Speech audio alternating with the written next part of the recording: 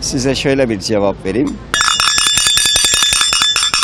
Bu Miami'çiler beyler. Buradan Balako'ya beyler. Yürek Suudi beyler. Balım ayam.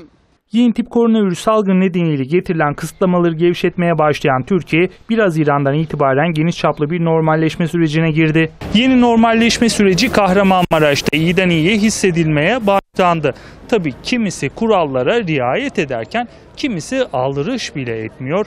Özellikle sürecin hala geçmediğini tekrar tekrar hatırlatalım. Kapatılan birçok iş yerinin yeniden açılmasının ardından şehirler arası ve şehir dışı uçuşları da başlarken çarşı pazarda halen büyük bir yoğunluk var. Genelde kurallara uyuyorlar ama bazıları çenesinin altında tabii ki tutuyor. Ekonomi çarkının da bir anlamda dönmesi gerek. Döndürmek zorundayız. Bunun için de e, bence geç bile kalındı.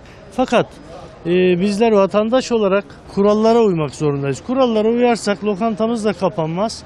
Kafeteryamız da kapanmaz, pastanemiz de kapanmaz. Ama kurallara uyacağız, sosyal mesafeyi bırakacağız. Bu nimetlerden de faydalanacağız. E, Normal sürece döndük de yani virüs hiç geçmedi. Geçmez de sıkıntılı bir dönem yaşıyoruz. E, Millet yine iç içe dip dibe, e, sosyal mesafeler yok.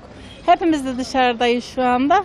Ama bir takım mecburen çıkıyoruz. Neden kötü? İnsanlar dışarıda hastalık bitmedi. İkinci dalgadan bahsediliyor. Yani geldim askerden geldim hemen sarıldılar bana.